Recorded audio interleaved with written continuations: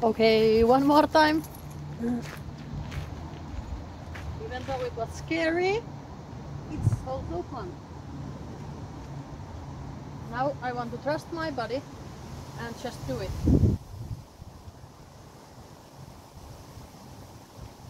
Yay!